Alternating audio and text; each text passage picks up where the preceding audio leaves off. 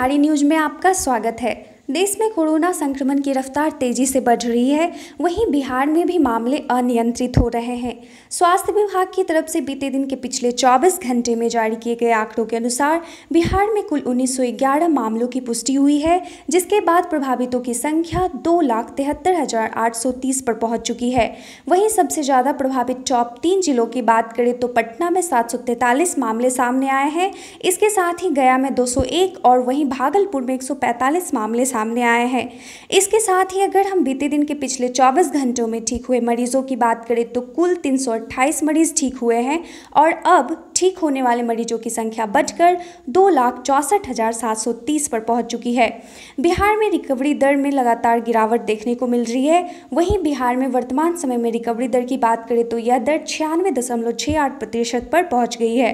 इसके साथ ही अब बिहार में एक्टिव मरीजों की संख्या तिहत्तर सौ चार पर पहुँच गई है। ज्ञात हो जारी किए गए आंकड़े दो करोड़ बयालीस लाख पचासी हज़ार उनासी सैंपल की जाँच के बाद जारी किए गए हैं। वहीं बीते दिन के पिछले 24 घंटे में नवासी हज़ार सात सौ चार सैंपल की जाँच की गई है।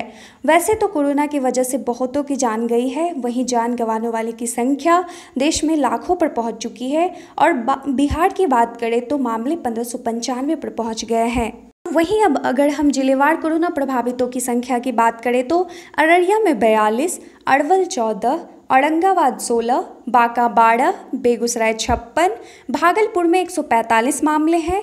वहीं भोजपुर में 18, बक्सर 9, दरभंगा 15, गया 201, गोपालगंज चौदह, ईस्ट चंपारण पंद्रह, जमुई पंद्रह, जहानाबाद उनचास, कैमूर तीस, कटिहार चार, खगड़िया दस, किशनगंज उन्नीस, लखीसराय दस, मधेपुरा उन्नीस, मधुबनी दस, मुंगेर इकसठ, मुजफ्फरपुर में वहीं तिरानवे मामले सामने आए हैं। तो नालंदा में तैंतीस, नवादा पाँच और पटना में सात सौ तैंतालीस मामले की पुष्टि हुई है।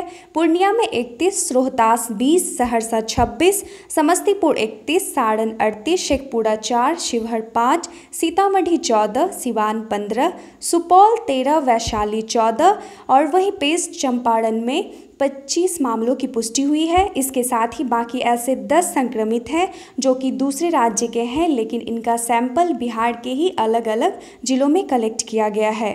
कोरोना के मामलों में बेशक बढ़त देखने को मिल रही है। सतर्क रहने की सख्त ज़रूरत है।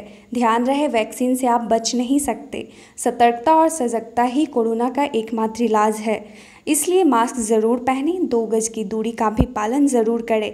आज के लिए बस इतना ही, धन्यवाद।